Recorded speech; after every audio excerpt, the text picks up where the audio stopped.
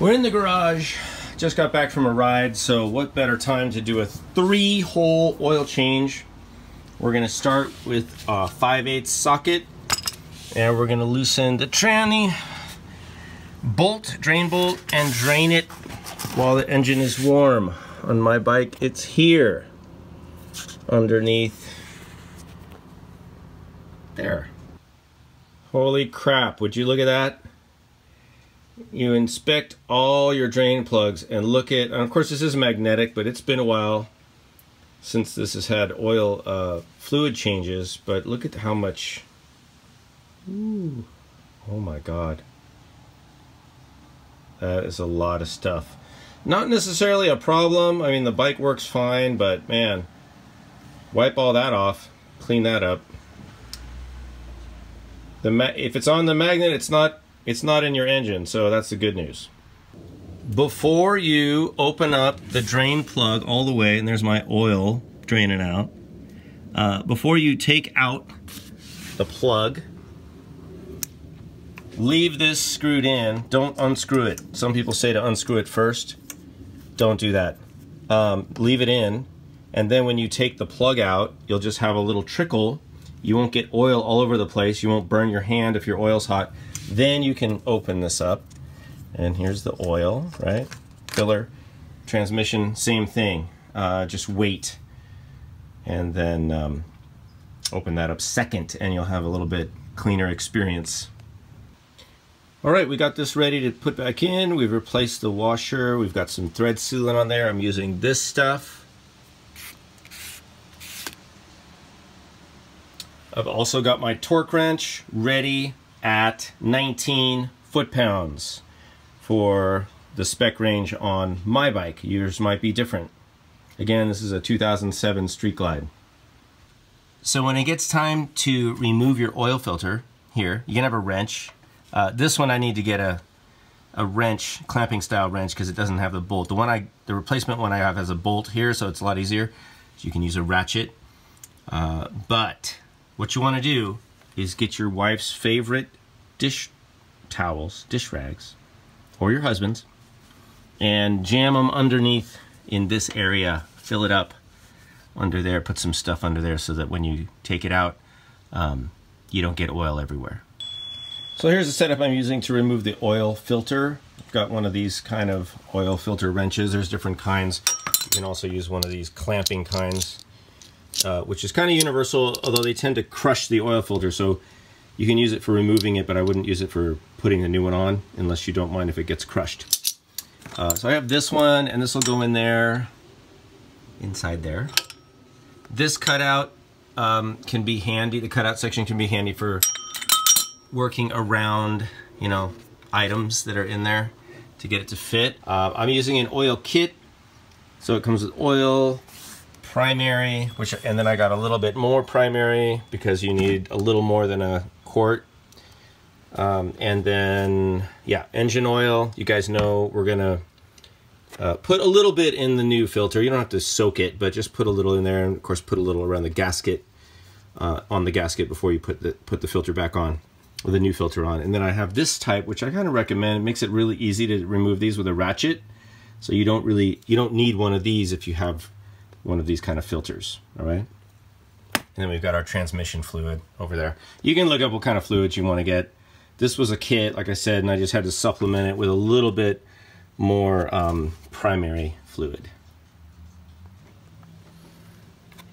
Here's the old filter. It still has oil in it.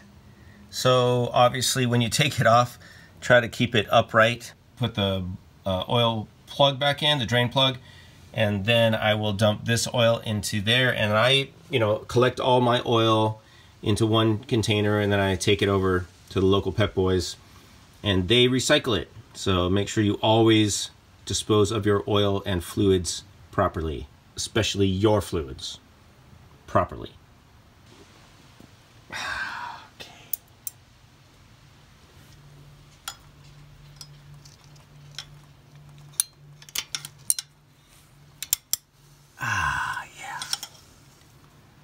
Perfect. So make sure you return these directly to the kitchen or wherever you got them before your wife notices. Or husband. Okay, draining the primary. Again,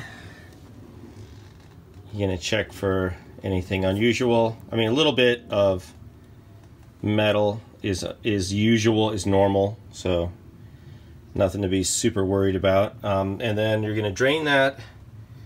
This again is a 5 8 You're gonna use the same specs, you know, on most of these. On this bike, it's about 19 foot-pounds you put this back in. Same procedure. One of these is a little, it's stripping out a little bit. I think uh, maybe whoever put this on put it on a little too tight. So I go to loosen it and it's it's just getting a little mangled. So I got to come up with another plan. Uh, I'm going to see if I can rig this up. If you guys ha don't have one of these, this is an impact screwdriver. You actually hammer it and it twists when you hammer it. Uh, and I've used some of, I used this to get some of the old seized bolts out of the CB750, like this cover, the gear shift, the clutch cover, and some other places on bikes. So if you don't have it, um, these are really handy. I don't know if I can rig this up for that. I don't want to damage it. I mean, this is kind of like a sledgehammer version, but I, I have to work on this and then I can come back. Not fun. Not funny. So this is why we use torque wrenches, uh, torque wrenches. So I took the Dremel, I ground down a groove, I use the impact screwdriver to hammer this free, which now it is. Of course, I completely, you know, this is completely ruined, but I got it loose. So let's continue. So I'm back from the Harley dealership, and they were very nice and helpful as usual. And while I was there, they had a bunch of derby covers, you know, so beautiful. And so I decided to get none of them. I'm going to use my original one because what's wrong with that? Simple is good, right? Okay, so got the gasket. I've got new set of uh, derby cover T27 screws. Uh, and look at this. Genuine Harley. Made where? What the? You don't see that too much anymore, but it's a Harley, it should be, right? Theoretically.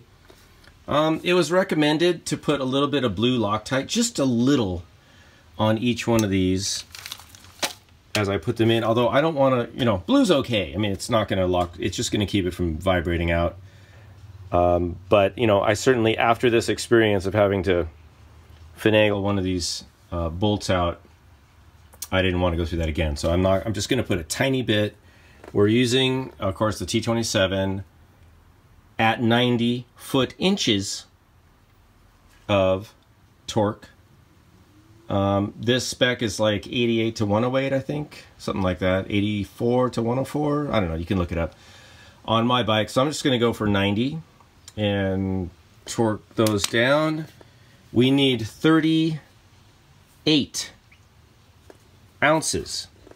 So we've got um, 32 in a quart, and then I need six more. So maybe I'll just measure it. I don't know if this has a yeah, this one doesn't really have a measuring window. Oh, neither does that. Oh, does it? Nope. Sometimes they have little windows. Um, this one I'm just to have to measure.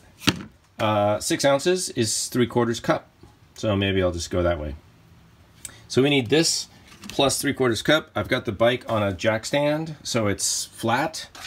Uh, the only other tool I'm going to use is this, which is one of these little funnels. There's a little spot right there. So if you have a skinny tipped funnel, you can have that going in there. Just hold it, you know, you can't just like let it sit there. But uh, if you hold it up, you can put the fluid in. It's basically you put the fluid in until it till it fills up to that point. But it recommends 38 ounces. So one quart plus six ounces. So as always, when you're tightening down a large area, you want to tighten in a star pattern. So we're going to move top and just go a little. Don't tighten it down to torque. Don't torque it down. We're going to go one, two, and then over here, three, and then over here, right? Four, five. Okay, then you might even do that twice. Don't be in a hurry. Um, you'll have a better torque reading if you go slowly. One, two, three, four, five. And just tighten it down a little, little bit by bit, all right? Finish it out. This one's going at um, 90 inch pounds. Okay, we have the derby cover back on. We've got the passenger footrest back on and cleaned up. Uh, one thing, when you're done torquing, relax your torque wrenches to the lowest setting. Not all the way down, just at zero, all right? Before you put them away, and you will extend the life of your wrenches. This is the transmission filler cap. You're gonna need a 3 8 inch Allen, and then you're gonna fill it with one quart, 0.95 liters, which is pretty much what's in there. And then here, you can see it says full or add. You just, it needs to be between these two lines in this X area.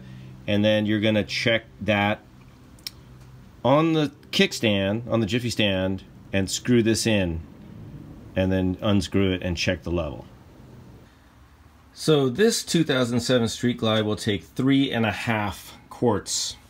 So I've got, I put some in the filter already. Uh, I'm gonna go ahead and put three and a half quarts in and then you can check it both ways on a stand upright or on the ground. I don't know how you guys, if you can read this, but here on the top it says fill, full hot on Jiffy stand, which is a kickstand, and then the lower level is full hot up upright, and then it says check screwed in. So screw this sucker in, screw the dipstick in, run the engine, of course. Uh, let it circulate throughout your engine, run it, and then either check it upright or on the stand. You have you have options there, and then just you know add some if you need it. Okay, so I just checked the level after putting three and a half um, quarts in, and I was right there at the top of the Jiffy stand marker, which is, you know, almost all the way up the, um, almost all the way to the top of the marker that you would use for the straight or level marker or reading, which is what I'm using right now. So I'm good. You just need it to be in there, you know, maybe halfway to full on the scale that they give you on the uh, dipstick. So we're good. That's three and a half quarts. I got a half a quart left over just for topping off. And uh, that concludes this video. Thanks for watching, everyone. Safe riding.